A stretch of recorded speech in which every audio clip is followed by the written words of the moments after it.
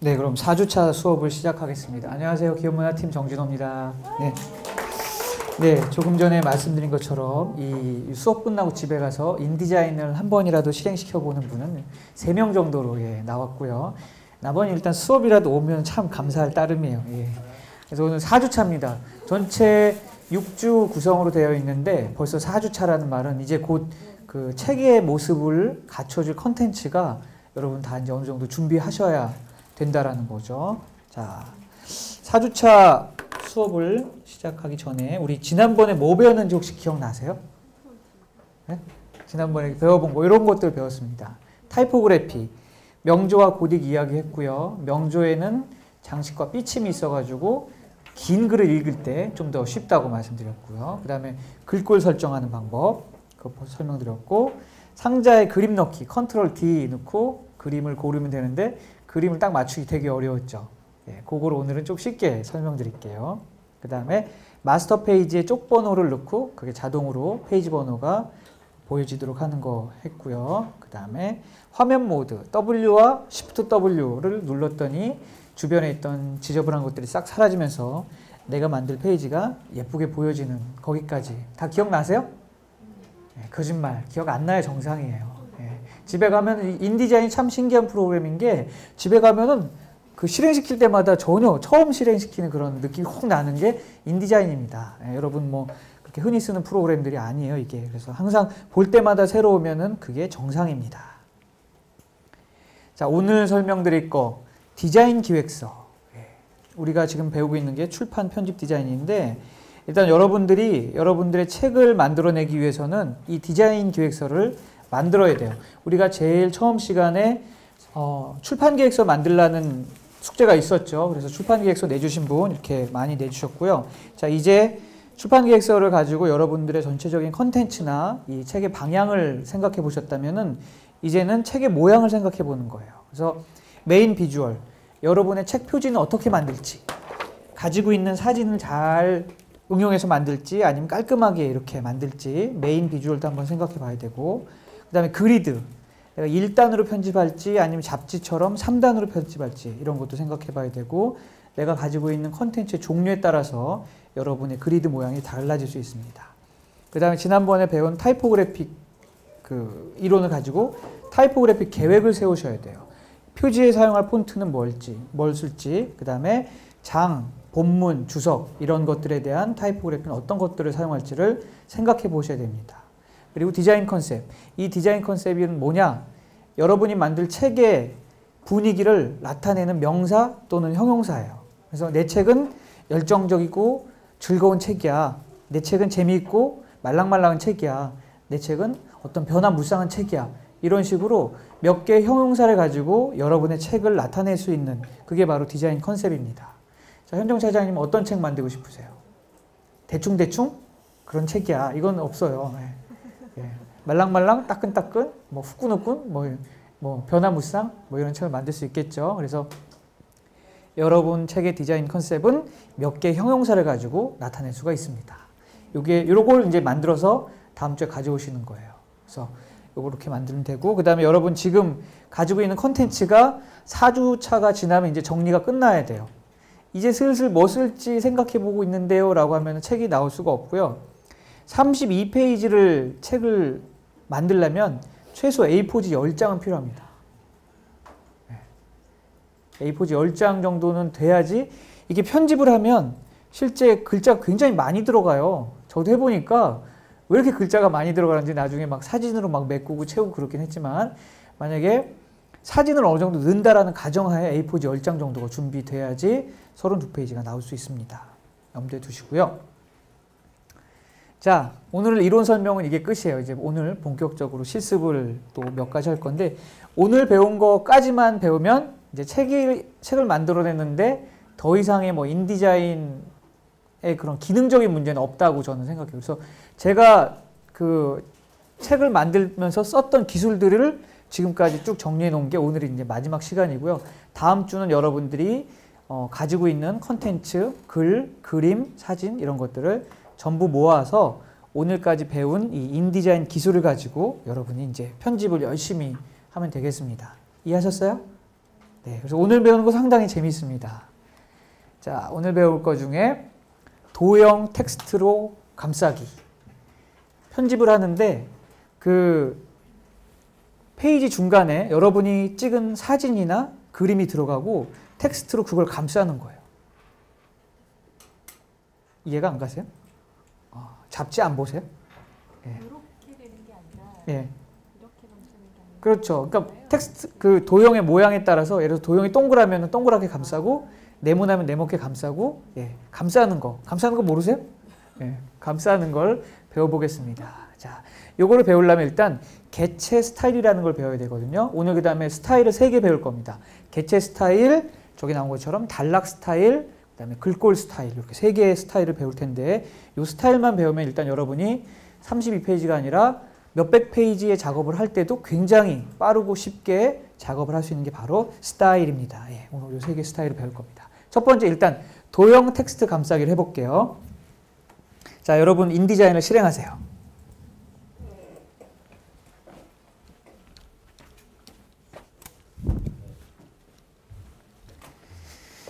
자, 화면이 잘 안 보이니까 화면 앞에 불을 껐고요. 자, 그 도형 텍스트 감싸기를 하려면 일단 도형을 하나 준비해야 되는데 제가 이메일로 보내드린 그 도형 있죠? 대답 좀 하세요, 좀. 예. 이메일로 보내드린 그 도형을 가지고 감싸 볼 겁니다. 자, 인디자인 CS5를 실행하고 나서 여러분 제일 잘하는 거 세문서 만들기 제일 잘하잖아요. 그거 하나 해보세요. 세문서 만들기.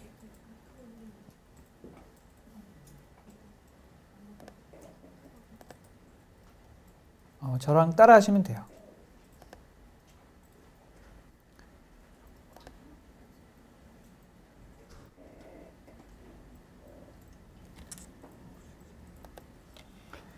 자, 세문서 만들기를 해서 A4 크기의 세문서를 한번 만들어 보겠습니다. 돌연과 슬러그는 기본으로 두고요. 여백 및 단은 오늘은 어, 비도 오니까 그냥 여백 단 1단짜리 기본으로 그냥 만들게요.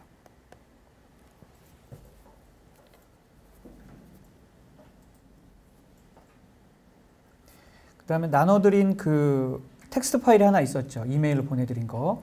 자, 텍스트 상자를 하나 만들어서 절, 절반 정도만 채우세요. 이렇게. 오른쪽까지 다 채우지 말고 한 3분의 2 정도 이렇게 채우고 나서 그 내용을 붙여넣기를 하세요. 여러분들한테 나눠드린 파일이 요 내용이에요. 요거 가지고 오늘 목차까지 다 만들어 볼 거거든요. 그래서 요 내용을 전체를 다 아이고 복사를 해서 조금 전에 만든 텍스트 상자 안에 붙여 넣어 보세요. Ctrl 더하기 누르면 나오고. 자, 여기까지 됐나요? 텍스트 상자를 하나 만들어서 어, 샘플로 나눠드린 파일을 붙였습니다. 됐어요? 그 다음에 이제 그림, 그림을 하나 넣어볼게요. 그림을 넣으려면은 여기 사각형 프레임 도구를 정사각형으로 한번 넣어보세요. 오른쪽에. 정사각형으로 넣으려면 Shift를 누르고 누, 만들면 정사각형이 됩니다. 자, Shift를 누르고 만들 때 그 텍스트와 약간 겹치게 만드는 거예요. 한 7, 80mm 정도로 만들면 겹칠 겁니다. 자, 텍스트와 겹치게 사각형 프레임 도구를 하나 넣고 자, 여기다가 오늘 제가 나눠드린 그 네모난 인디자인 로고 파일을 넣어볼 거예요. 단축키가 뭐죠? 네, 컨트롤 D 누르면 물어보죠. 거기에 인디자인 로고 .png를 넣는 거예요. 자, 참고로 이 로고 파일은 엄청 큽니다. 엄청 커요. 자, 여기까지 엄청 크게 넣고 기다리세요. 물론 이렇게 성질이 급해서 나는 얘를 막 줄여야겠어 라고 하는 분도 있겠지만 기다리세요. 네. 들어갔나요? 네. 그리고 나서 여기서 오른쪽 버튼을 눌러보는 거예요. 오른쪽 버튼을 누르면 맞춤이 있습니다. 뭘 누르고 싶으세요? 프레임의 내용 맞추기일까요? 내용의 프레임 맞추기일까요? 네. 프레임의 내용 맞추기를 누르면 프레임 정사각형 프레임 안에 그림이 줄어듭니다. 만약에 내용의 프레임 맞추기 하면 어떻게 될까요? 엄청나게 프레임이 늘어납니다. 크게 예, 감당 안 되게 늘어나요. 자 여기까지 했어요. 이렇게 여기까지 되신 분. 예. 자, 80% 이상 됐으니까 막 갑니다. 자, 이렇게 했는데, 자, 뭐가 이상해요, 지금? 뭐가 이상해? 전혀 이상하지 않아요? 뭐가 이상해요. 뭐냐면은, 글하고 그림이 겹쳐 있잖아요. 그죠? 대부분의 편집에서는 절대 글자 위에 그림을 겹쳐서 이렇게 두지 않아요. 실수가 아닌 이상. 그죠? 그래서 요 그림이 들어갔는데, 이 그림과 글자를 예쁘게 이제 배치를 해보겠습니다. 요걸 하려면은 어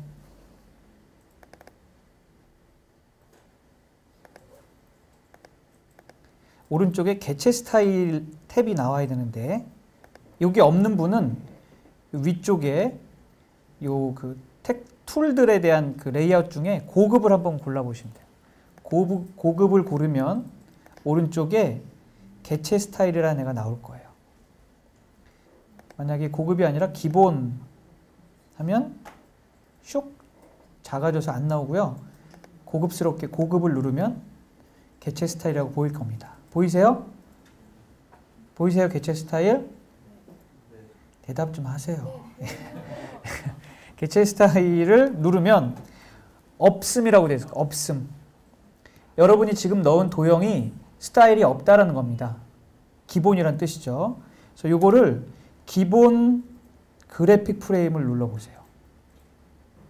달라지는 게 없죠? 예, 달라지는 게 없어요. 정상이에요. 달라지는 게 없습니다. 자, 기본 그래픽 프레임을 누르고 걔를 더블 클릭해 보세요. 뭔가 되게 복잡한 게 나왔죠? 그죠? 네. 예. 이 별거 아닌 그림 상자의 속성을 조절할 수 있는 기능이 100만 가지가 나왔습니다. 자, 이 중에 다 몰라도 돼요. 전혀 몰라도 돼요. 우리가 알 건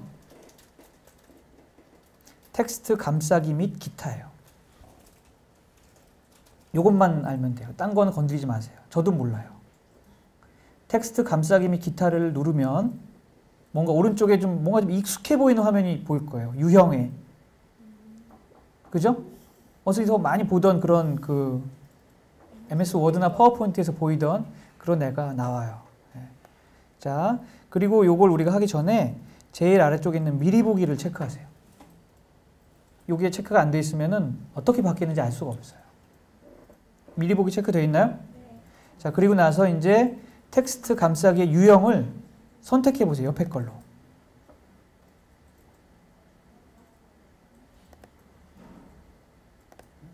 자. 선택해 보셨어요? 네. 요 텍스트 감싸기 유형에 따라서 텍스트와 도형이 서로 겹쳐 있을 때 텍스트가 도형을 어떻게 비켜 나갈지 어떤 유형으로 감쌀지를 결정하는 겁니다. 기본적으로는 맨 앞에 거로 돼 있어요. 감싸기 없음. 감싸기가 없다라는 거는 두 개가 겹쳐 보인다는 뜻입니다. 그래서 그림이 텍스트 위에 있으면 글자가 안 보인다는 뜻이죠. 자, 그 바로 옆에 있는 거 하나 해볼게요. 테두리 상자 감싸기. 우리가 지금 넣은 도형의 모양이 무슨 모양이죠? 네모예요. 네모일 경우에는 이 상자 감싸기나 모양 감싸기 차이가 없어요. 근데 원은 원인 원을 넣으면은 원에 따라서 글자가 감싸져요. 기본적으로는 요 우리가 네모를 넣기 때문에 모양 감싸기와 상자 감싸기 차이가 없습니다. 왜냐하면 상자 모양이 네모였기 때문에. 자, 그래서 테두리 상자 감싸기로 하면 글자가 조금씩 비껴 나가요. 그런데 딱 보면은 어떤 느낌이 와요? 어떤 느낌이 와요? 너무 바짝 붙어 있어 답답해요. 그래서 그 여백을 느리는 게 아래쪽에 있는 오프셋입니다. 0으로 돼 있죠? 오프셋 0으로 되어 있는 거 보이세요? 네, 0으로 되어 있으면은 글자와 그림이 아무런 관계 없이 따닥따닥 붙어 있어요. 그래서 얘를 여러분이 좋아하는 한 3에서 5에서 7 이 정도로 적당하게 조절하시면 됩니다. 그럼 왠지 이제부터 뭐 막 백과사전 느낌이 막, 막 나면서 예, 되죠? 자 이렇게 해가지고 개체 스타일을 넣고 자 다시 한번 설명할게요. 그림을 하나 넣습니다. 컨트롤 D로 그림을 불러왔고요. 그 다음에 고급 패널을 이용해가지고 오른쪽에 개체 스타일을 보이게 한 다음에 거기서 기본으로 되어 있던 애를 기본 그래픽 프레임으로 바꾸고 거길 더블 클릭했어요. 그리고 나서 보여지는 이 화면에서 다 냅두고 텍스트 감싸기 및 기타를 설정해가지고 텍스트 감싸기 유형을 선택했고요. 그 다음에 아래쪽에 있는 오프셋을 바꿨습니다. 그리고 이게 화면에서 확인하기 위해서 미리 보기를 체크해 놨어요. 자, 미리 보기를 끄면은 어떻게 해요? 어, 어떤 변화가 있는지 안 보이죠? 미리 보기를 체크해 놓고 오프셋을 이렇게 조절했습니다. 자, 나는 가로 세로와 높이 위아래 오프셋을 다르게 주고 싶어 하면 여기 있는 요 체인을 끊으면 돼요. 그러면은 아래쪽만 뭐 따로 이렇게 줄 수 있다든지 할 수 있는데 특별한 경우가 아니면은 모든 여백을 다 비슷하게 주면은 됩니다. 자, 요거를 이제 3분 동안 각자 한번 연습해 보세요. 이게 들을 때는 알 것 같은데 집에 가면은 아무 생각이 안 나요. 예. 자, 처음부터 문서 세로 하나 만들어서 객체 그 텍스트 쭉 넣고 텍스트와 겹치는 도형을 넣고 그 다음에 이 도형의 그 테두리 감싸기 기능을 한번 변경해 보세요. 시간은 3분 드리겠습니다.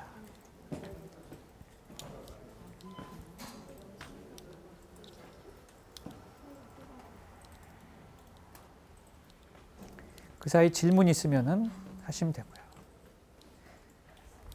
아 중간에 우리 그것도 했구나. 도, 그 컨텐츠에 맞게 도형 그 프레임의 크기 조절하기도 우리가 했죠.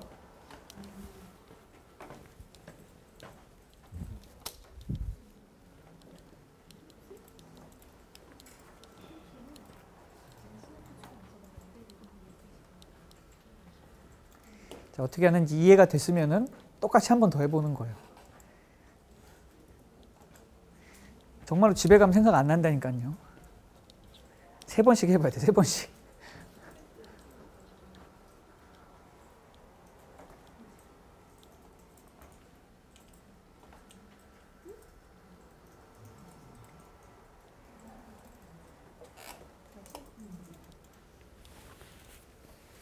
잘 돼요?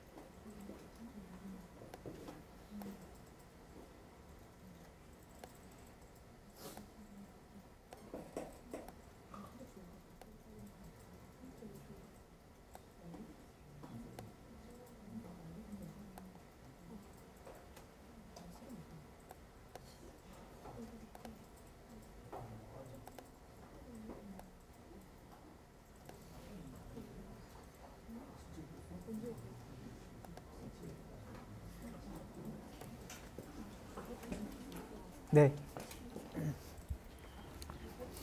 기본 프레임에서요. 네. 더블 클릭하는 얘가 나오잖아요. 네. 얘를 선택을 했는데 왜 안 움직일까요? 얘가 선택이 안 돼 있잖아요, 지금. 얘로 네. 얘로. 선택하고, 예. 그죠? 얘로 그러네요. 그렇죠. 지금 뭘 했냐면 얘를 지금 수정하고 있었어요. 그 인디자인을 할 때는요, 지금 내가 뭘 선택했는지 알고 계속 속성을 바꿔야죠. 지금 엉뚱한 거 선택하고 나서 이렇게 얘가 안 바뀌어요 이러면 안 돼요. 근데 그런 사람 되게 많아요. 내가 지금 뭘 세- 선택했는지 아무 생각 안 하고 막 바꾸고 있어. 네. 그림을 바꾸랬더니 막 글자를 막 바꾸고 있는 거예요. 이게 원래 그런 프로그램이에요. 여러분이 잘못한 게 아니에요.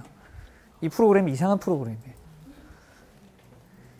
자, 그 개체 스타일 옵션 바꾸는 거 잘 되나요? 예, 지금은 잘 되는데 집에 가면 안 되는 신기한 프로그램이에요.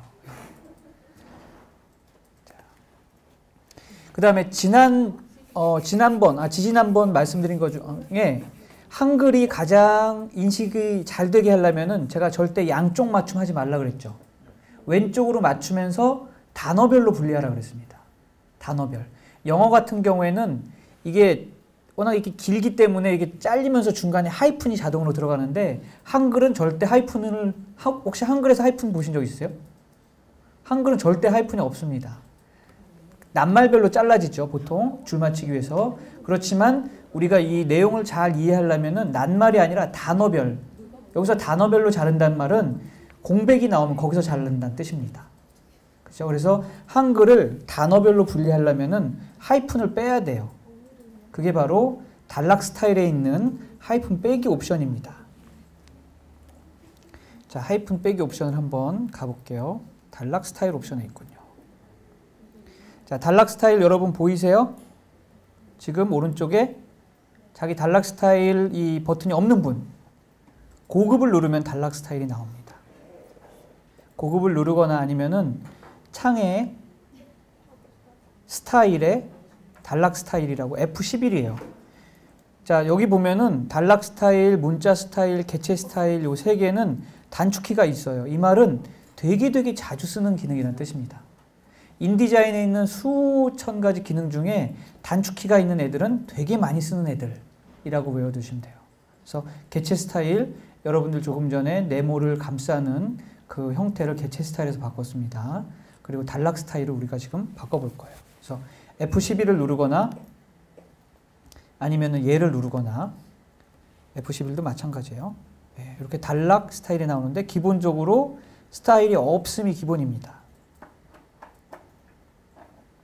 자, 단락 스타일 이 창을 보이게 하고 나서 자, 지금 보면은 컴즈인을 위한 인디자인 실전 활용이라는 거에서 두 번째 단락.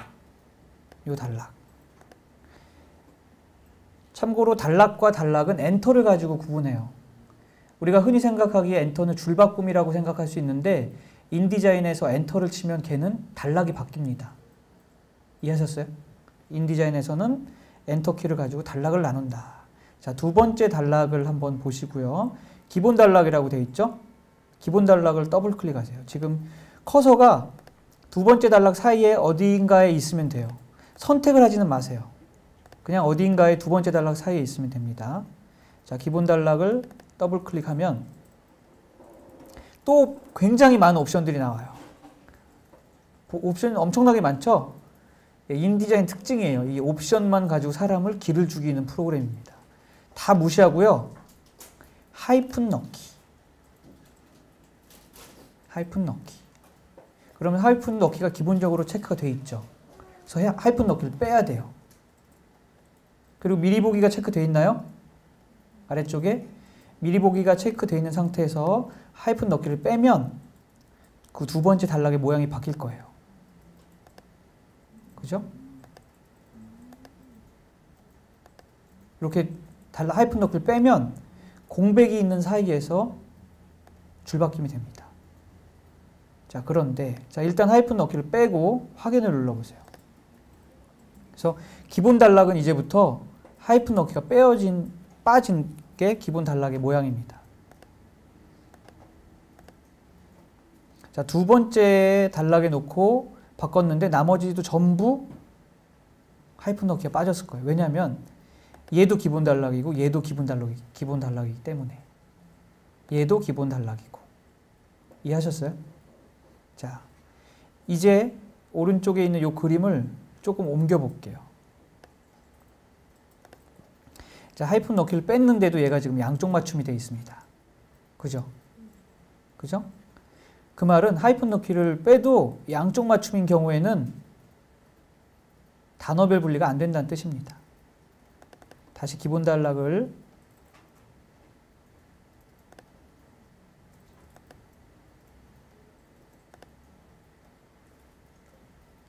더블 클릭해서 들여쓰기 및 간격으로 가보세요.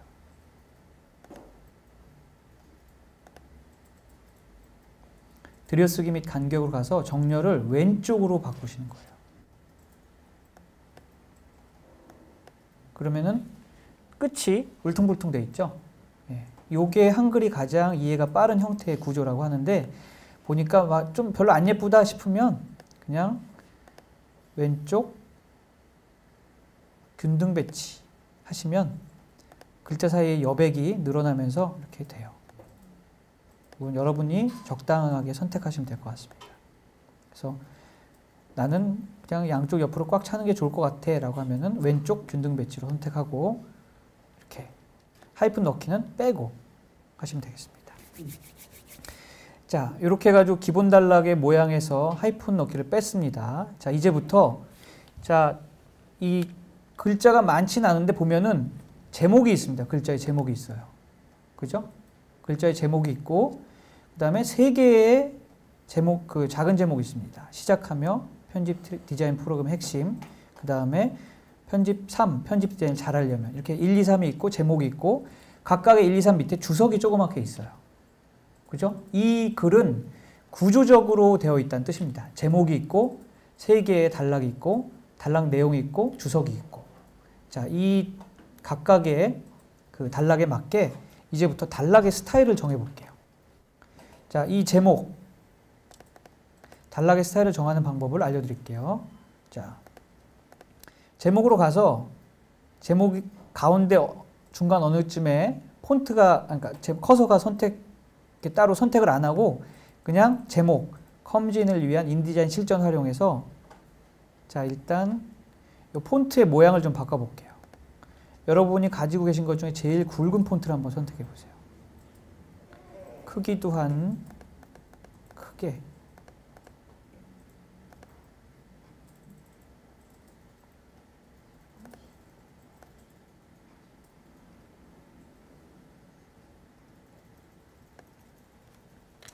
자, 저는 크기를 약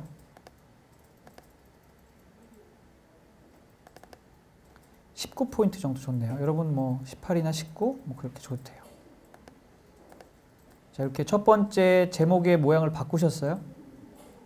자, 이 상태에서 커서가 이 제목 어딘가에 있으면 되고요. 단락에서 여기 새 스타일 만들기. 지금부터 이 새 스타일을 만들어 볼게요. 자, 그럼 이 새 스타일을 만들기를 누르는 순간 단락 스타일 1이 만들어졌어요. 그죠? 그래서 단락 스타일 1에서 더블 클릭을 하고 얘 이름만 바꾸세요. 제목이라고.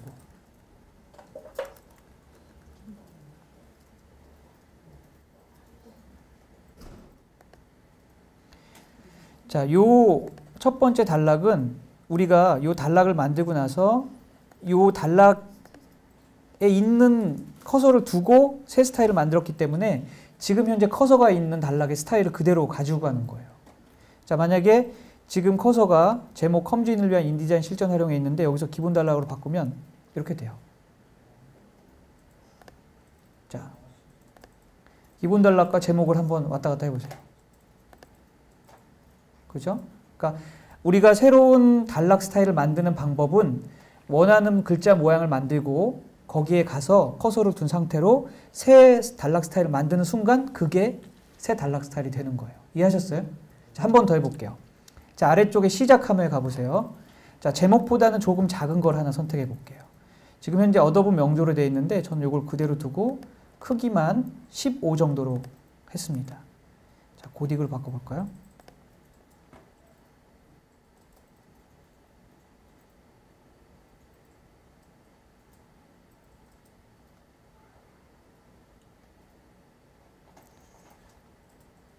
맑은 고딕으로 하면 아 어도브 고딕이 있네요.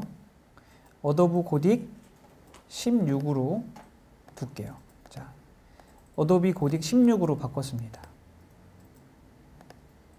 자, 여러분들도 이 제목보다는 조금 작은 폰트를 이용해서 그러면서 조금 굵은 폰트를 이용해서 자, 폰트를 바꾸고 자, 폰트를 바꿀 때는 어쩔 수 없이 선택해야 돼요, 얘를.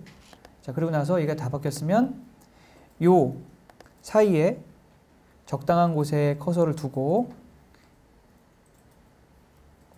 자 커서가 위치한 곳에 새로운 단락을 만들어 볼게요. 자, 새 스타일 만들기를 누르면 또 단락 스타일 1이 나오는데 단락 스타일 2를 더블 클릭하고 큰 제목이라고 한번 해볼게요. 아, 저 위에 있는 제목이 제일 큰 거니까 장 제목이라고 해보겠습니다. 자, 그러면 얘는 지금 장 제목이 선택이 된 거예요. 자, 그 다음에 이 선택된 장 제목을 2번 제목하고 3번 제목에도 적용해 볼게요. 커서를 2번 있는 곳으로 가서 얘를 장 제목을 누르면 돼요. 자, 3번으로 가서 장 제목을 누르면 돼요. 자, 여기까지 실습 5분. 네. 자, 장이 이제 수십 개 나와도 커- 클릭만 수십 번 하면 됩니다. 이상해요? 예, 이상하면 예, 해보고 안 되면 알려주세요.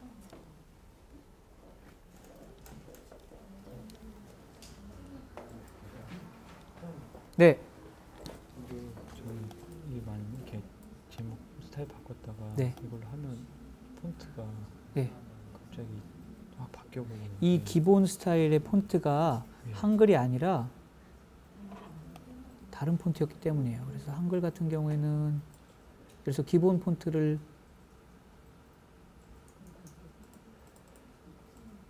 어, 이러했다.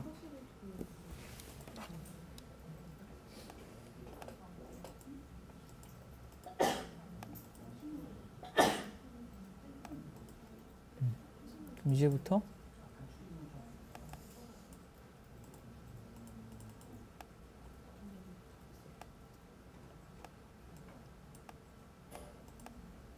그래서 이게 basic 폰트 말고 기본 폰트 하나 만드세요. 그래서 예를 들어서 지금 이 처- 시작 화면의 본- 내용이잖아요. 네.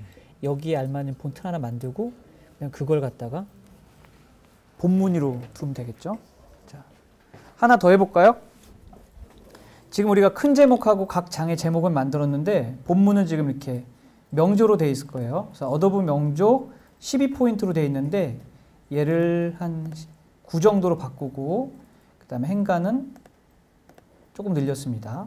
15 정도로 했고 자가는 마이너스 75로 땡겼어요. 자, 이렇게 해가지고 얘를 포- 커서를 이 사이에 두고 여기서 단락 스타일에서 또 새 스타일을 만들면 얘는 본문이라고 바꿀게요. 자, 됐습니다. 얘가 본문이 됐고 얘도 본문으로 바꿔볼까요? 얘도 본문으로 바꾸고 자, 이렇게 해가지고 제목, 장제목, 본문 이렇게 만드는 게 자, 실습 해 보세요.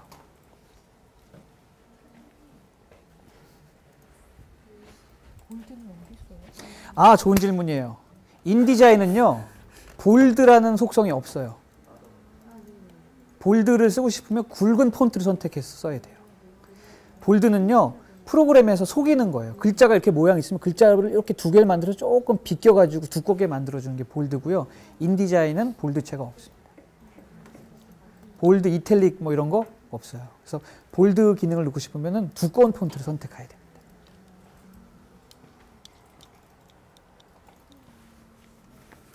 자, 이렇게 단락 스타일을 만들어야지만 우리가 목차를 만들 수가 있어요.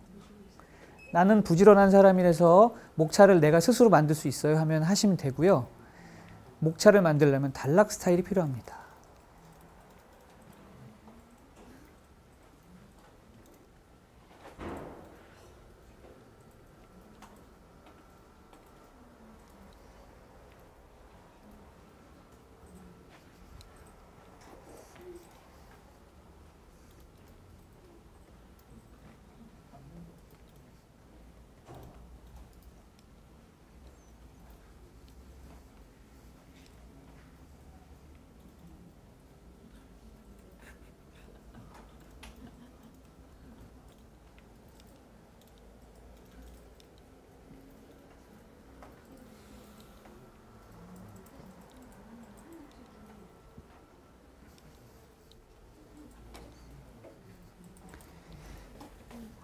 주석도 한번 만들어 볼까요? 자, 주석을 선택하고 얘는 폰트를 8로 하고 그 다음에 자간을 조금 많이 주고 아, 행간을 조금 많이 주고 자간은 마이너스 50만 주고 자 그리고 나서 얘를 여기서 새 스타일로 만들고 이름을 주석이라고 바꾸는 겁니다. 자, 그리고 나서 나머지 주석한테도 가서 주석으로 바꾸는 거죠. 이렇게. 자, 지금 우리 네 개의 단락 스타일을 만들었어요. 제목, 장제목, 본문, 주석. 이렇게 네 단계의 계층을 가지는 단락 스타일을 만들었습니다. 이걸 가지고 잠시 후에 목차를 만들어 볼게요.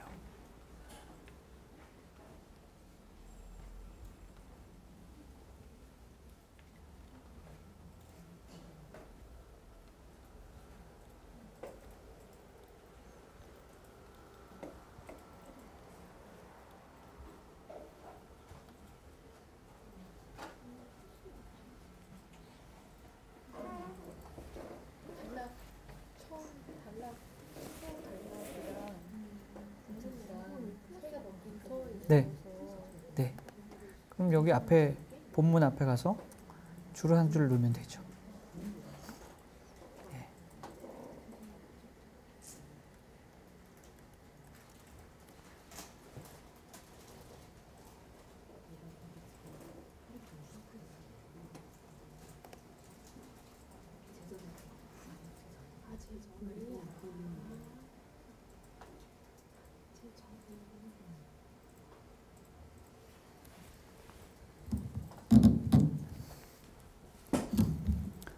네, 잠깐 다시 설명을 드리면 화면 잠깐 봐주세요.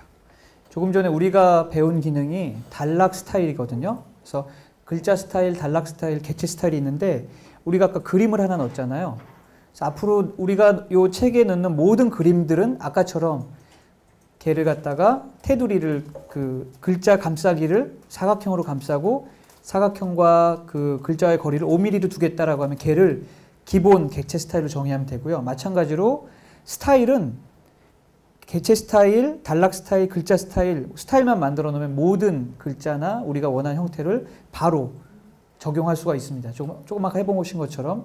그래서 지금 우리 세 개만 해봤는데도 금방 클릭 한 번만 하면 단락이 그 스타일이 바뀌는 것처럼 반복 작업을 엄청나게 줄여줘요. 반복 작업을 줄여주는 기능이고요.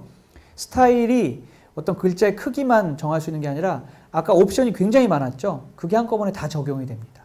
하나의 스타일을 만들어 놓으면. 그래서 새로운 스타일을 만드는 방법은 좀 아까 배운 것처럼 내가 원하는 모양의 폰트나 간, 그 자간이나 행간을 정의한 다음에 걔를 가지고 새 스타일을 만들어내는 거예요. 그래서 일단 내가 원하는 대상의 속성을 적용하고 나서 글자의 크기나 자간이나 행간을 적용하고 나서 거기다가 커서를 넣고 그 다음에 새 스타일 만들기 버튼을 누르면 그 스타일을 복사해 가지고 새 스타일이 만들어지고요. 새롭게 만들어진 스타일의 이름만 바꿔주시면 됩니다. 그렇게 해서 우리가 지금 네 개의 스타일을 만들어 봤어요. 그래서 스타일을 만드는 그 화면 보면은 지금 실제 인디자인에서는 다섯 가지 스타일을 다루고 있는데요. 저 셀 스타일이나 표 스타일은 별로 쓸 일이 없고요. 가장 많이 쓰는 게 개체 스타일, 우리가 조금 전에 해본 단락 스타일, 그 다음에 문자 스타일입니다. 자, 여기서 한 가지 궁금한 게 생길 수 있어요.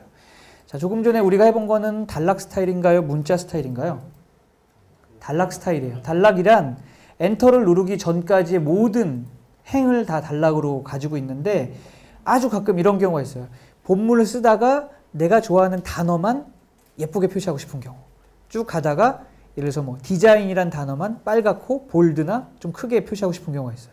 그건 어떤 경우냐면은 분명히 같은 단락 안에 있는데 이 글자만 모양이 다른 거죠. 그죠? 디자인이라고 하는 문자만 빨간색으로 굵게 하고 싶어. 여기도 디자인, 여기도 디자인 이렇게 나오는데 그걸 단락 스타일로 처리할 수 있을까요? 없어요. 단락 스타일 처리한 순간 개가 속한 모든 단락이 다 바뀌기 때문에 그럴 때 쓰는 게 문자 스타일입니다. 단락 안에 특정한 단어만 좀 다르게 표현하고 싶어. 그런데 그런 단어가 되게 많이 나와. 그때 쓰는 게 문자 스타일입니다. 그래서 조금 전에 우리가 배운 거는 단락 스타일이고 문자 스타일을 정의하는 방법은 단락 스타일 정의하는 방법하고 매우 흡사하고요. 우리가 단락 스타일 정의할 때 커서를 해당 단락 안에 두고 새 스타일을 만들었죠. 그죠? 같은 방법으로 문자 스타일을 만드는 방법은 커서를 그 특정한 문자를 선택한 다음에 그거 그 선택된 상황에서 문자 스타일 만들기를 하면 그게 새로운 문자 스타일이 되는 겁니다. 그래서 문자 스타일 만드는 거는 여러분이 한번 직접 해보시고요. 단락 스타일과 문자 스타일의 차이는 일단 단락 스타일 같은 경우에는 한 단락 안에 있는 모든 글자에 다 적용이 돼요. 조금 전에 해보셨죠? 엔터를 누르지 않고 줄바꿈 계속 있는 그 전체 단락이 한꺼번에 적용이 되고 글자를 선택한 것과 무관합니다. 단락 스타일은. 글자를 선택해서 그 적용하는 거는 문자 스타일이에요. 그래서 단락 스타일은 그 단락 안에 있는 모든 글자에 적용이 되고 커서가 있는 그 단락 전체에 적용이 됩니다. 반면에 문자 스타일은 문자 스타일을 정의할 때도 그 해당 문자를 선택하고 나서 정의하고 그거를 적용할 때도 해당 문자 스타일을 선택한 다음에 적용하는 겁니다. 그래서 전체를 적용할 때는 단락 스타일, 해당 문자에만 적용할 때는 문자 스타일을 쓰시면 되고 단락을 구분하는 게 바로 enter입니다.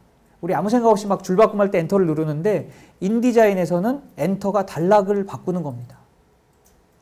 그러면은 줄바꿈은 어떻게 하냐? shift enter를 누르시면 돼요. shift enter를 누르면 같은 단락인데 줄만 바뀌는 거예요. 이해하셨어요? 자, 그 다음에 하이픈 설정 역시 단락 스타일에서 하는 겁니다. 하이픈 설정은 문자 스타일에서 못해요. 그죠? 하나의 단락 끝을 어떻게 설정할까에 대한 기능이기 때문에 하이픈 설정은 단락 스타일에서 하는 겁니다. 자, 단락 스타일 우리 조금 전에 만들어 봤죠? 세 가지 단락. 그래서 단락 구분은 enter로 하고 줄바꿈은 shift enter로 하시면 됩니다. 그래서 shift enter로 줄바꿈을 하면은 단락을 바꾸면 줄 바뀌어 있는 부분 아래쪽까지 다 바뀔 수가 있어요. 자, 그 다음에 문자 스타일은 만드는 방법은 아까랑 매우 흡사하고요. 자, 요거는 여러분이 한번 단락 스타일 만드는 방법을 활용해 가지고 한번 만들어 보시면 되겠습니다. 자, 핵심. 요것만 만들면 이제 오늘 하루가 또 갑니다. 자, 시간이 12시 44분이고요. 목차를 만들 겁니다. 목차. 자, 아까 말씀드렸죠. 나는 부지런한 사람이라서 이런 기능 필요 없어. 나는 뭐 50페이지, 100페이지 다 목, 그거 찾아내가지고 맨 앞에다 붙여가지고 목차를 만들어낼 수 있어. 라고 하시는 분도 있습니다. 근데 편집을 하다 보면은 이게 페이지가 어떻게 바뀔지 몰라요. 이 그림이 어떤 페이지로 밀릴지. 내가 지금 1장에는 1장, 1장은 첫 페이지에 있고 2장은 둘째 페이지에 있는데 작업을 하다 보면 이게 둘째 페이지가 셋째 페이지로 갈지 전혀 알 수가 없습니다. 그래서 그때 사용하는 게 바로 목차 만들기고요. 목차를 만들려면 반드시 목차로 뽑아낼 그 문장이 단락 스타일이 적용돼 있어야 됩니다. 문자 스타일이 아니에요. 단락 스타일이 적용돼 있어야 된다는 거죠. 그 말은 엔터 단위로 구분된 그 문장을 뽑아서 목차를 만든다는 뜻이죠. 이해하셨어요? 자, 목차 만들기를 해보겠습니다. 단락 스타일 다 3개 이상 가지고 만드셨어요? 3개 이상? 제목, 장제목, 본문. 뭐 4개 만드신 분은 주석까지 만드셨겠죠? 자, 이게 사실 제일 재밌는 부분이고요. 자, 우리가 이 본문 내용을 기반으로 해가지고 목차를 만들려면은 비어있는 페이지가 하나 필요해요. 목차를 넣을 페이지. 그래서 자, 오른쪽에 페이지 탭을 누르면 자, 지금 한 페이지밖에 없죠. 그죠? 한 페이지밖에 없는데 여기서 새로운 페이지를 하나 만들어요. 자, 요 새 페이지 만들기를 누르면 새 페이지가 만들어지는데 자, 이상한 거. 목차는 항상 책의 제일 앞쪽에 나옵니다. 그럼 어떻게 해야 될까요? 이 지금 내용이 있는 이 첫 번째 페이지를 이렇게 이렇게 하면은 바뀌어요. 자, 지금 내용이 있는 건 2페이지가 됐고 지금 새로 만든 페이지는 1페이지가 됐습니다. 못 보셨어요? 자, 다시 해볼게요. 새로 만든 페이지를 이렇게 떨구면 바뀌는 거죠. 네. 자, 그래서 비어있는 페이지를 맨 앞쪽에 놓고 자, 확인해 보세요. 맨 앞쪽에 비어있는 페이지가 하나 있나. 자, 이제부터 이제 목차를 한번 넣어 보겠습니다. 목차는 자, 목차를 넣기 전에 목차를 넣을 페이지로 이동해 보세요. 해당 페이지를 더블 클릭하면 페이지로 이동합니다. 조금 전에 작업한 건 두 번째 페이지고 우리가 목차를 넣을 페이지는 첫 번째 페이지고 자, 여기서 레이아웃 목차 레이아웃 목차. 찾으셨어요? 레이아웃의 목차를 누르면 전혀 알 수 없는 게 이렇게 나옵니다. 자, 대부분 여기서 닫아버려요. 뭐지? 하면서. 자, 자, 잘 따라하시면 돼요. 기본적으로 목차에 적용할 스타일은 그냥 냅두면 돼요. 기본값. 뭐 선택할 수도 없네, 딴 거. 자, 제목. 모든 목차 페이지에는 맨 위에 뭐가 나와요. 뭐 어디 보자. 자, 여기 보면 뭐라고 나와 있어요? 차례라고 나오죠, 맨 위에. 차례. 네, 그래서 여러분도 차례라고 한번 써보세요. 나는 영어 좋아해. 그럼 컨텐츠로 쓰시면 돼요.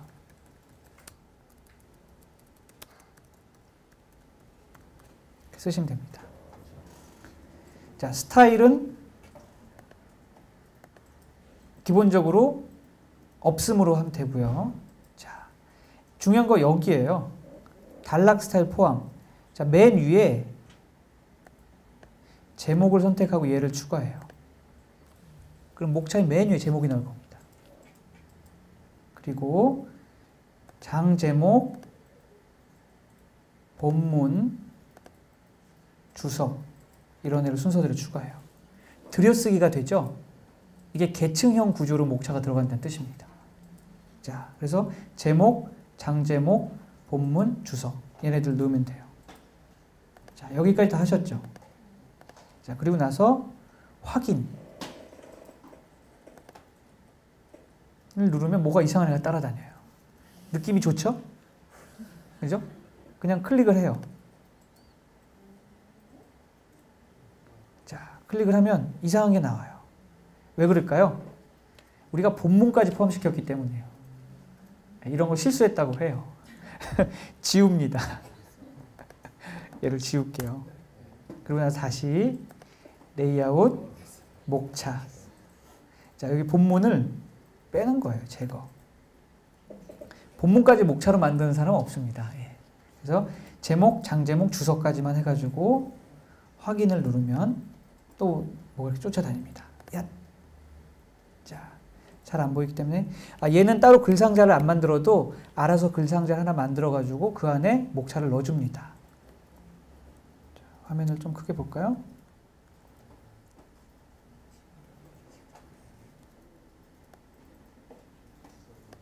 자, 우리가 본문에 그 작업하면서 설정한 단락 스타일을 그대로 따라가지고 목차를 만들어줬습니다.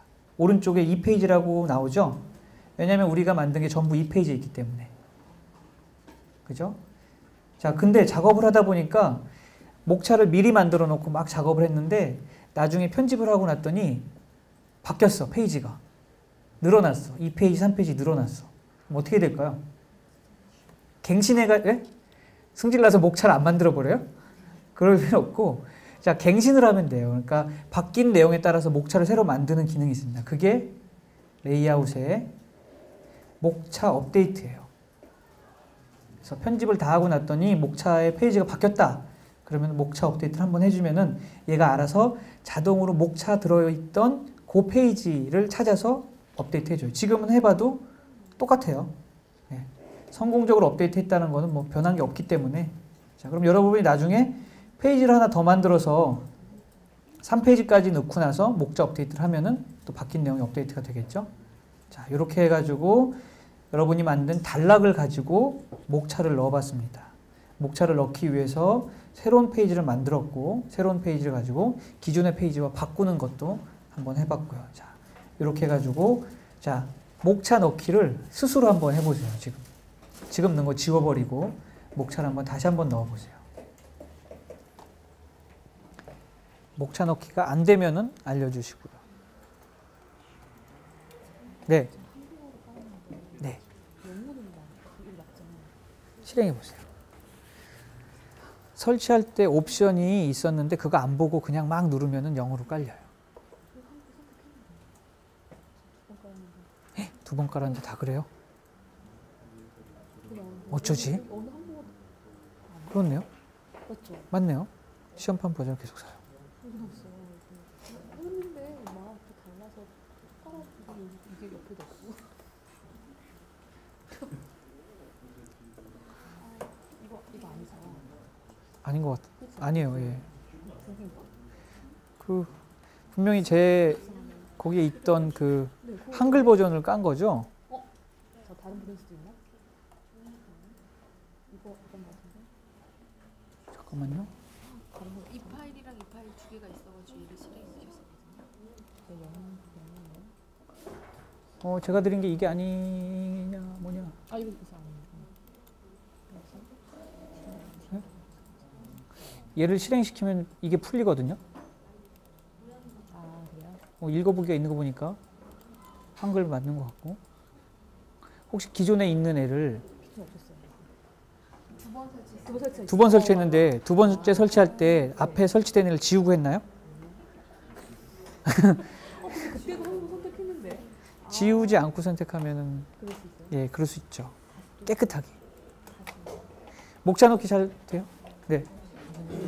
네. 이게 이 부분 조금 더 붙어 있는 것 네. 어, 여기가 붙어 있는 것 같아서요. 예. 아이고 아니 이 사이를 이렇게 선택하고 아 그냥 예, 저희가 예 기존에 하던 방법대로 하던 방식대로요. 아, 이렇게 바꾸고 나서 다시 업데이트하면은 여기 살아 있는지는 모르겠어요. 그건 저도 안 해봤어요. 예. 그래서 대부분 목차를 제일 마지막에 넣어요.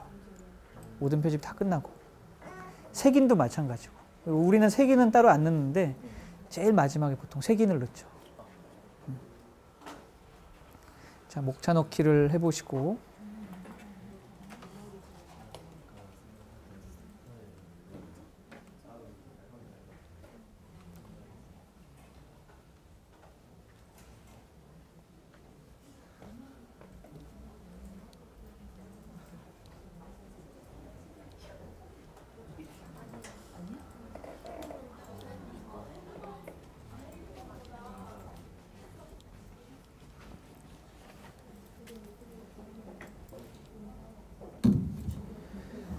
어, 다음 주에 전체적인 그 컨텐츠를 다 가지고 와서 여러분들 열심히 편집하고 나서 그 다음 주에 이제 출력 제작이 들어가는데요.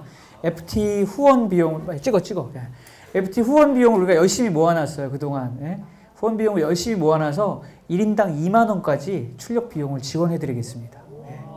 근데 만약에 더 그 낙오자들이 더 많다. 그러면은 이렇게 더 지원될 수 있는데 일단 현재로서는 열심히 이렇게 모아가지고 그 쌓인 그 후원금으로 1인당 2만 원씩 해가지고 약 20명까지는 지원할 수 있는 그런 금액이 있으니까요.